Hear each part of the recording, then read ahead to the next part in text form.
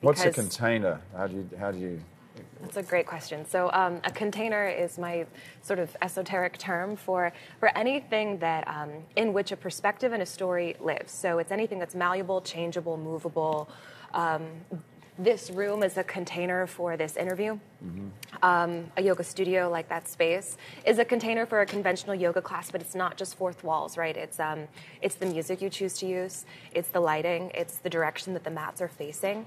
Um, so it's the stage uh, on a, on a Broadway show. It's um, the container is the direction the audience is facing in accordance to the stage. Um, the music, the length of the class, or the length of the class, the length of the show, um, what the what the actors are wearing, how they're speaking. So so any sort of deliberate choice about how you're showing up in time and space that can be changed at will. Right. Um, and so you really have to think about what choices am, am I making that are causing people to um, back away and feel isolated, and how can I change that performance, my personal behavior, to end the container in which people are engaging with one another to help them feel like they belong. And I want to reiterate this point that um, the opposite of accountability is entitlement. And so you really want to get your um, your students, if it's a fitness class, or your audience. I, I in drunk yoga, they're the same. it's an audience. Our audience is our students.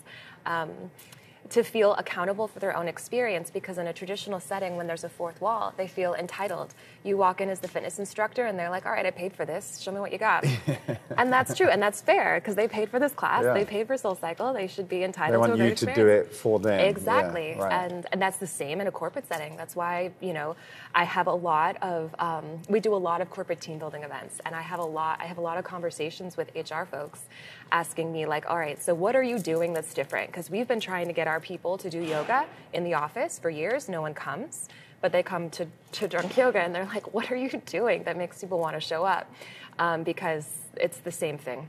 Um, accountability is the opposite of entitlement. And so if you uh, change the container to let people feel accountable for their own experience, they want to show up all of a sudden because they feel like their voice is being heard. And we do that in such silly ways in drunk yoga. Like, I'll ask people to, um, the last person to put their cup on their head has to make up a dance move, but they have to make up a dance move for their peers, right? I- I didn't tell them what dance move to do. If I told you, hey, do this now, you'd be like, go fuck yourself. Yeah. I don't know if I can swear on this, but you'd be like, absolutely not. But in the right container, if I invited you in a silly way to make up a dance move that was uh, to the to the benefit of your peers, you would totally do it because social pressure. But then all of your peers would do it too, and then all of a sudden it's a shared experience of belonging. I didn't. I created the container in which you could be accountable for your own dance move. Same with music choices, lighting, the time of the class. There's all sorts of really fun, easy, simple ways to do it. I know it sounds very esoteric, um, but it's quite simple.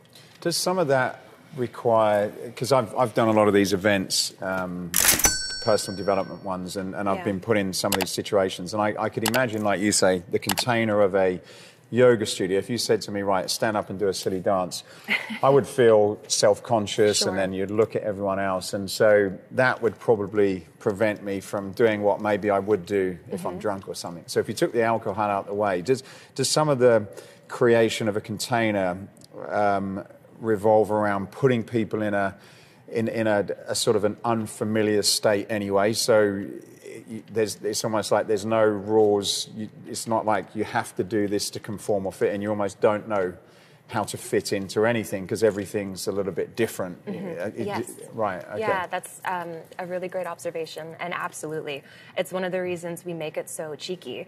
Uh, the, our branding is very cheeky and provocative, and we do it in unconventional places. And I, I recognized after about a year of doing drunk yoga, um, I should say nobody came to my class for about six weeks. Um, one, I was bad at marketing. I didn't know what I was doing.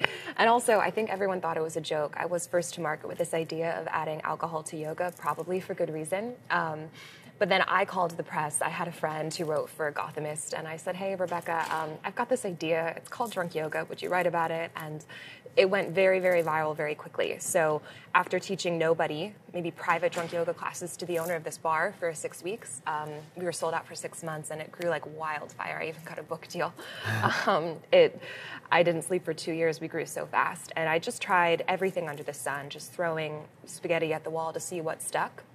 And so, back to my point, to my delight, I realized the alcohol wasn't an important piece of it. We, we, I would say about 30% of our classes have uh, alcohol in hand.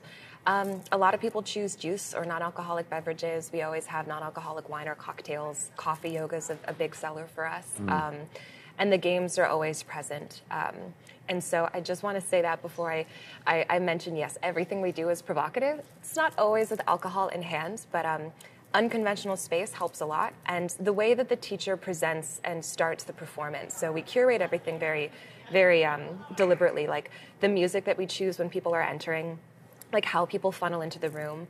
Um, the teacher makes it very clear that she or he is the host of the party.